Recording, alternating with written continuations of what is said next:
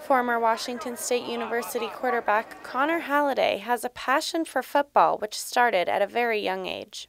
My parents say when I was a little kid, like three years old, I just started throwing stuff around the house, just picking it up and throwing it at walls, and you know, I was throwing things harder than a normal three-year-old should. It was all I wanted to do ever since I was about five years old and um, it's been my dream to play in the NFL, and I'm close to making that an accomplishment.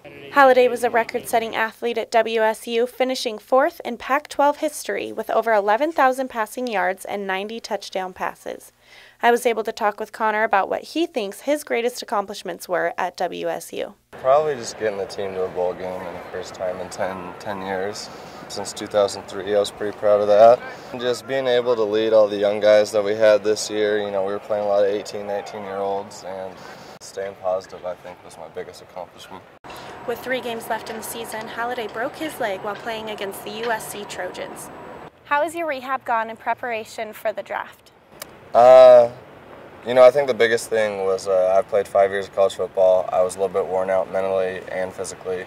Um, so while breaking my leg wasn't in the plans, um, you know, I got a little bit of time to reflect on my career, reflect on everything I've done here, and um, what I want to do, you know, with the rest of my life, football and outside of football. So I think um, it really was a blessing in disguise, and uh, you know, I'll take everything out of this that I can and try to have a heck of a pro day.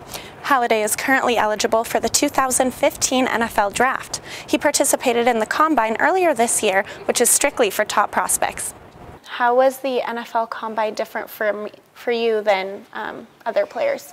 Well, I, I did everything that anybody else did, um, measurements, interviews, all that stuff. I just didn't get a workout at the end of it, you know. So, so Saturday was our last day there, and um, when when, when those guys got to throw and run and everything. So I, I wasn't able to compete with my um, with my injury, but other than that, um, I was doing everything else between the interviews and the waking up before and the drug testing and all that stuff. So it wasn't too different for me. I just didn't get a workout. Pro Day was held on April 1st for Halliday and a fellow teammate at Rogers Practice Field on the WSU campus.